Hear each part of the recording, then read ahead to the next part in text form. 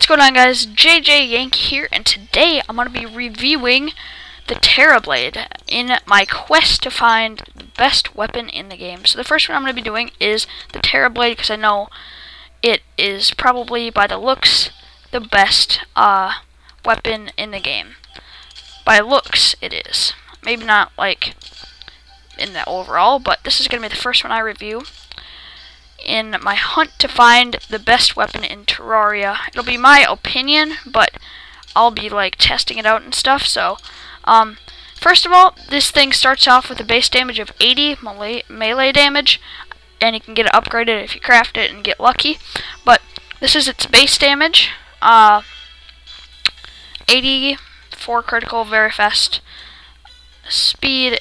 It's really powerful, just there. But it is pretty tough to craft. I'll show you how to craft it here in just a second, but that might be one of its only drawbacks is how to craft it because it is actually quite it's I mean it's worth crafting it for sure but it is one of the harder things to craft in this game so I guess I'll show you how to craft it here alright guys to craft the Terra Blade what you're gonna need is you're gonna need the um, let's see if I can do this. Uh, the True Knight's Edge, the True Excalibur, and also the Broken Hero Sword. And then to get the True Excalibur, you're going to need the Broken um, Hero Sword and the Excalibur, and then for the True Knight's Edge, so on and for so forth. And the way you get uh, the Broken Hero Sword is it drops from...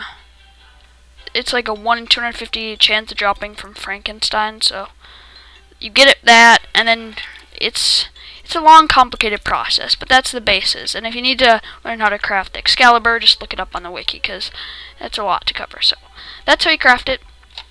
Alright, now that you know how to craft it, as you can see, it is a lot of resources. I mean, if you have the resources, it's definitely worth it to put in this, because it also has a ranged attack.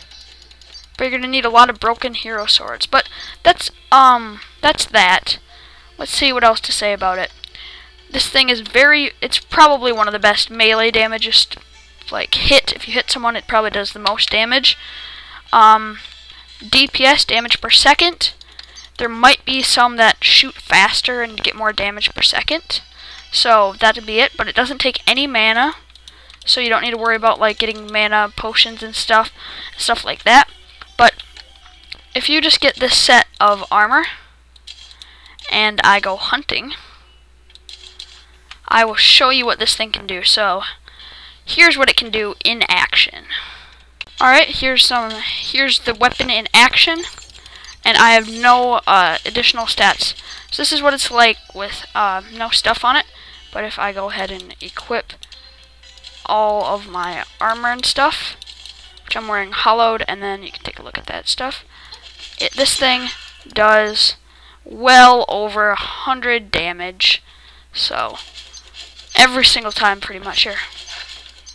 As you can see, it does well over 100 damage every time, and sometimes getting crit hit up to like 300 almost. I think the highest I ever got was like uh, high 200s, low 300s, I think. Let's see if I can. Let's test it out on these guys.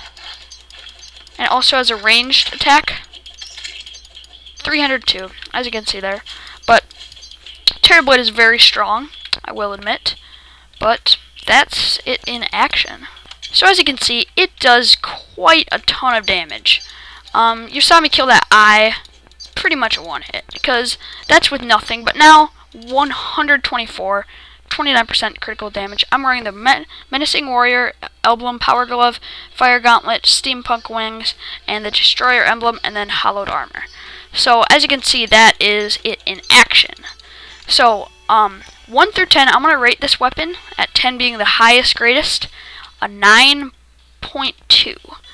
The drawback is how hard it is to craft, and it's only melee, and it has, and it doesn't, like, hit super fast. Like, if you're away, it can only shoot probably one maybe two every second. With a like a ranged weapon, maybe can shoot three, four a second. So that could be a drawback. That's my only drawback. So I'm gonna rank it a 9.2 in my opinion. Worth it, and it's also quite the hassle to craft. So that's my overall opinion on the Terra Blade. Um, stay tuned for the next one, and at the end after I, and leave leave some oh yeah leave comments saying which weapon you think I should review next that you think may be one of the best weapons in the game, and then at the end stay tuned because I will announce the overall best weapon in Terraria in my opinion. So, hope you guys enjoyed this video. Have a great day. See you guys.